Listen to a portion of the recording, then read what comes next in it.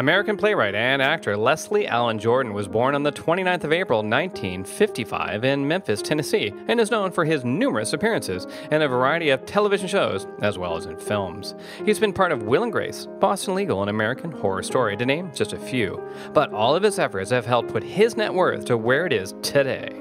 So, just how rich is Leslie Jordan as of mid 2017? Uh, Celebrity.money estimates that Leslie's net worth is now over $3 million, mostly earned through a successful career in acting.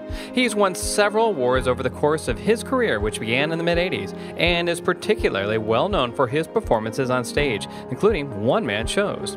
As he continues his career, it's expected that his wealth will continue to increase.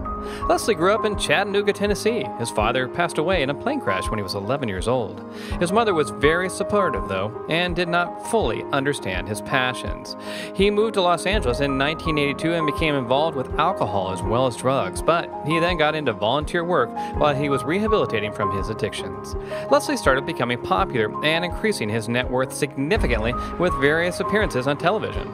He made guest appearances in Lois and Clark, The New Adventures of Superman, Star Trek Voyager, and Boston Public. He also appeared in Ugly Betty as the celebrity thrasher Quincy Combs and was the star of the short lived Hidden Palms.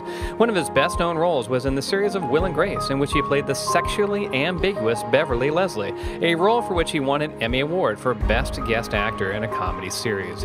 This opened up more opportunities for him, including in the interactive gay themed show Laugh Out during its pilot. He also became a housemate during the celebrity edition of Big Brother and made a guest appearance in two episodes of Benidorm, the British sitcom series. His net worth was well established. Jordan gained a lot of popularity and increased his net worth through his stage work too. He became part of the production Sordid Lives as Earl Brother Boy Ingram, a role which he also took to film, and then quite naturally appeared in Sordid Lives, the series, in which he played a character in a mental hospital. He wrote and starred in the play Lost in the Pershing Point Hotel, which was made into a film too, and then toured a one man stage comedy entitled Like a Dog on Linoleum, which received many good reviews. Other popular one man shows he has done include Hysterical Blindness and other southern tragedies that have plagued my life thus far, and my trip down the pink carpet. These shows were very successful, and he toured around the country with them. Most recently, Leslie has appeared in the series American Horror Story Roanoke and K.C. Undercover, both in 2016. To date, Jordan has been part of well over 120 films and TV productions, spanning more than three decades.